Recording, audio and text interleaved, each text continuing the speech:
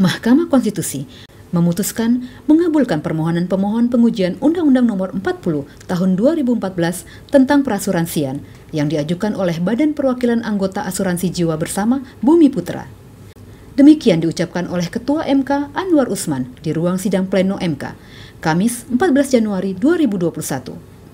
Dalam pertimbangannya, Mahkamah menilai bahwa penafsiran lain dari putusan MK pada putusan sebelumnya yang dilakukan oleh pembentuk undang-undang merupakan tindakan keliru. Oleh karena itu, menurut Mahkamah, permohonan pemohon mengenai ketentuan pasal 6 ayat 3 Undang-Undang Perasuransian bertentangan dengan Undang-Undang Dasar 1945 beralasan menurut hukum.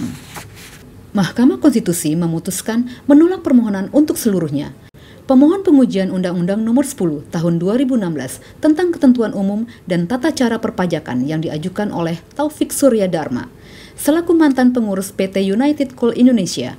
Dalam pertimbangannya, Mahkamah menilai bahwa kelalaian perusahaan untuk membayar pajak merupakan tanggung jawab perusahaan sebelum dinyatakan pilot atau likuidasi. Selain itu, Mahkamah juga memutuskan tidak dapat menerima permohonan pengujian Undang-Undang Kepailitan dan penundaan kewajiban pembayaran hutang yang diajukan oleh Hasbin Bayu Dewa dan 19 pemohon lainnya. Di mana dalam pertimbangannya, Mahkamah menilai bahwa para pemohon selaku pembeli unit apartemen Antasari 45 yang di mana saat ini mengalami permasalahan dengan pengembang yang dinyatakan pilot. Oleh karena hal tersebut bukanlah suatu perkara konstitusionalitas norma. Pada sidang yang sama, Mahkamah juga memutuskan menolak permohonan pemohon pengujian undang-undang hak tanggungan atas tanah beserta benda-benda yang berkaitan dengan tanah yang diajukan oleh Rosmani Dar selaku warga negara Indonesia. MKTP News melaporkan.